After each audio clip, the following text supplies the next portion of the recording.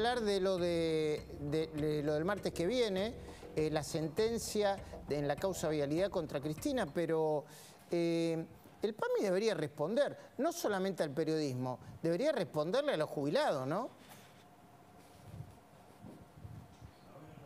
No, Porque son funcionarios públicos. ¿Me escuchás? Sí, ahora sí. Ah, bueno, buenas noches a todos. Estamos hablando de funcionarios públicos y estamos hablando del dinero de, todos los argentinos.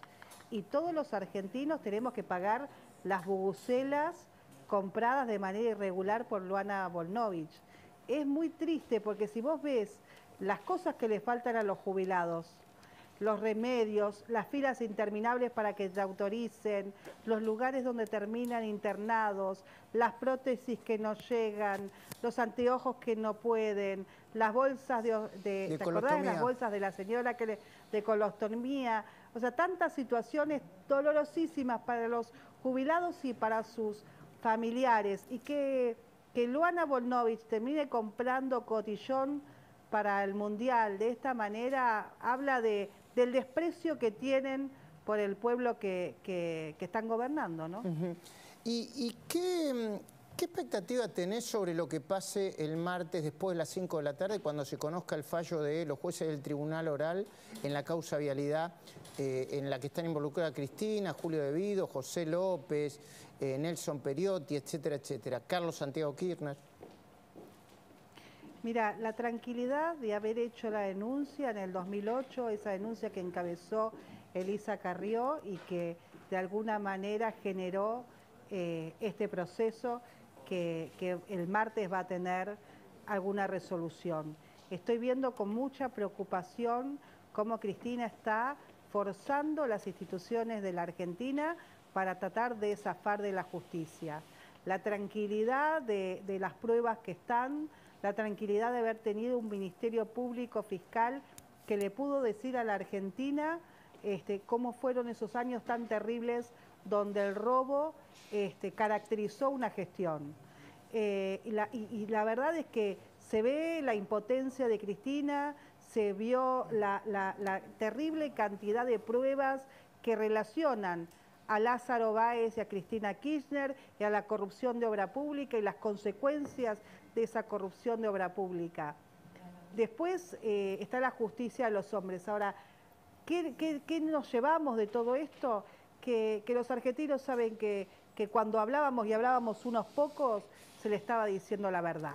y con esa verdad, donde una presidenta y una familia se robaron el futuro de muchos, en nombre de un pueblo al que desprecian, después tendrán que ver qué hacen. Eh, Ojalá que, la justicia el martes nos dé, nos dé la tranquilidad de que funcionan las instituciones. Paula, la quiero sumar a Silvina porque el jueves Cristina, eh, en sus últimas palabras, habló de las 20 mentiras del fiscal Luciani y nosotros vamos a desarmar ahora, Silvina, una por una, lo que significa esta causa y las acusaciones fuertes, con mucha prueba, contra Cristina Kirchner. Silvina, te saludé, ¿no? Ya, buenas noches, adelante, por favor. Sí, ¿qué tal? Mira, acá atrás vamos a ver Teníamos cinco pantallas nada más. Si teníamos más, te hubiera hecho las 100 mentiras de Cristina. Ah, a ver. Hicimos las 20. Ah, está dividida en, diferentes pantallas. Exacto, las 20 mentiras que Cristina dijo en tanto en sus alegatos como en todos los momentos que se pudo presentar. No sé si querés que te vaya leyendo algunas, son muchísimas. las principales. Estoy frente a un pelotón de fusilamiento, no, claramente sus juzgados. No soy amiga de Lázaro Báez, dijo. Bueno, claramente eso está demostrado,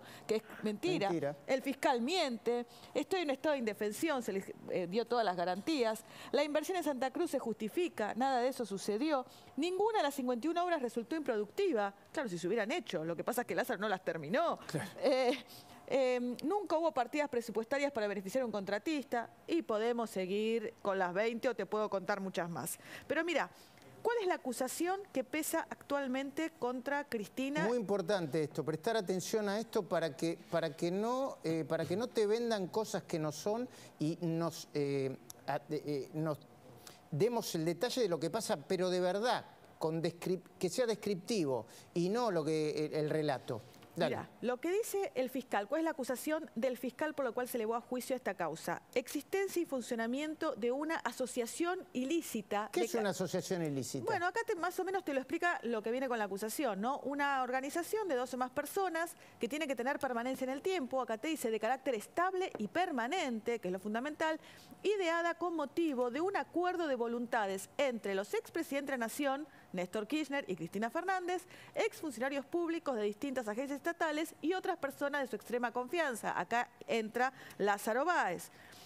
Y sigue, montada en base a una división de roles definidos y estratégicas dentro y fuera de la estructura administrativa del Estado y sostenida ininterrumpidamente, lo que estábamos hablando recién, por más de 12 años. O sea, mira el tiempo... 2013 a 2015. Destinada a cometer múltiples delitos para sustraer apoderarse legítimamente de forma deliberada de millonarios fondos públicos. ¿Cuáles son las pruebas en contra de Cristina? Mira, se la acusa de ser la jefa de una organización criminal. Primero, aportar el poder que la jerarquía de su cargo le daba, porque ella dice, yo no firmé nada, claro, pero es la Presidenta de la Nación. La Presidenta de la Nación tiene una presunción de legitimidad, de legalidad con todos los actos ratificar en el cargo a los, a los organizadores que perduraron el tiempo durante 12 años. Debido, López, Exacto. Fatala. Carlos Kirchner. ¿Viste cuando te dice Asís, Cristina no sabía, o Cristina siguió, o Cristina se encontró con la situación. No, Cristina mantuvo la organización, ratificó en sus cargos y quedó hasta el último momento con todos los organizadores. Déjame que te agregue algo. El propio Oscar Centeno en los cuadernos de la corrupción dejó en un momento de incorporar datos a los cuadernos mm. después de la muerte de Kirchner, pero después de un tiempo se dio cuenta que seguía el sistema y el método de recaudación y lo reconoció en su testimonio en la causa de los cuadernos de la corrupción. Y con más fuerza seguía, exacto. Modificar, las otras pruebas de Cristina, modificar las leyes del presupuesto para aumentar a través de DNU, decreto de necesidad de urgencia, o sea, van con la sola firma del presidente y los ministros, las partidas presupuestadas para la dirección de vialidad, que eran las obras de Santa Cruz. Seguimos, y esto es muy importante, decidió a través de un decreto, que fue el decreto 54 del 2009, que la Dirección Nacional de Vialidad iba a ser la beneficiaria de un fideicomiso, el fideicomiso 976 del 2001. Fue un fideicomiso creado en la presidencia de la Rúa, pero que Cristina dispuso que todo este dinero que se recaudaba por un impuesto a los combustibles, al gasoil, pasara a ser usufructuado por la Dirección de Vialidad y particularmente por Santa Cruz. Eh, Lázaro Báez, bueno, eh, a ver, celebrar un montón de contratos, el camino inverso con Lázaro Báez para permitir que le vuelva eh, parte de este dinero en forma de retorno. ¿Cuáles son los escenarios posibles el martes? Mucho se está hablando de todo este tema. A ver, puede ser condenada por el delito de asociación ilícita y administración fraudulenta con una pena de 12 años, que fue lo que pidió el fiscal. Un intermedio, que puede ser la condena por el delito de administración fraudulenta, nada más, con seis años de prisión e inhabilitación especial para ejercer cargos públicos, o la absolución. El último escenario parece actualmente el menos probable. Entonces, Paula... Bueno, eh, yo tengo la íntima convicción de que funcionó una asociación ilícita y así lo planteamos en el 2008. No es verdad, como dice ella, que no pueden decir que todo mi gobierno fue una asociación ilícita. No, todo su gobierno no. Su relación con sus socios, su amigo, este, su testaferro, Lázaro Báez. Y cómo puso al Estado al servicio de esa organización delictiva y donde ella era la presidenta o su marido eh, cuando ejerció el poder en el 2003.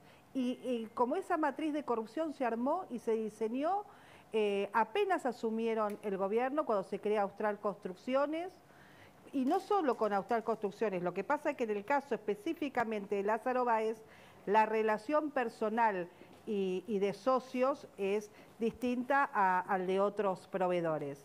Eh, ¿Y cómo termina Austral Construcciones cuando ellos se van del poder?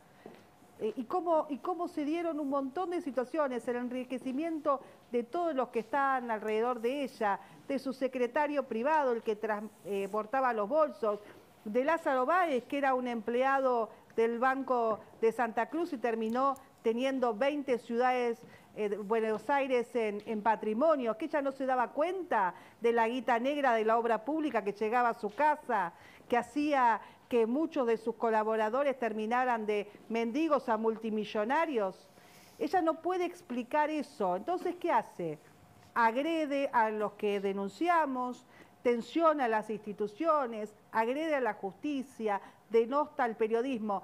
Nunca pudo decir soy inocente nunca pudo explicar su vínculo con Lázaro Báez.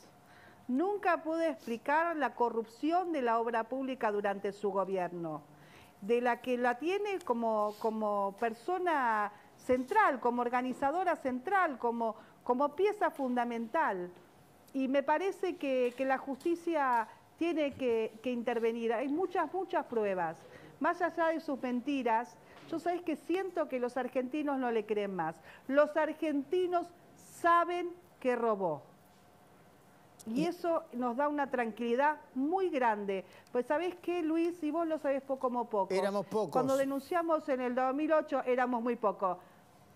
Muy pocos. Si nos hubiesen acompañado todos los que hoy se hacen los indignados, qué acompañados nos hubiésemos sentido, ¿no? Sí, y lo mismo pasó, déjame decirlo ahora que, pocos hablan del tema, en algún caso con Daniel Scioli, en otro caso con Hugo Moyano, eh, pero, pero no para hablar de nosotros, es sobre todo para hablar de ustedes, de vos, Paula, de Lilita, de, Mariana Subi, de muchos otros, hay muchos otros, de muchos periodistas, colegas nuestros con mucho coraje. No hay tantos otros, eh.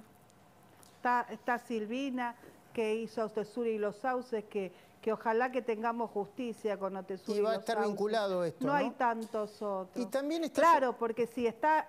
Eh, eh, déjame explicar esto, que si nosotros logramos, nosotros digo los argentinos, ¿no?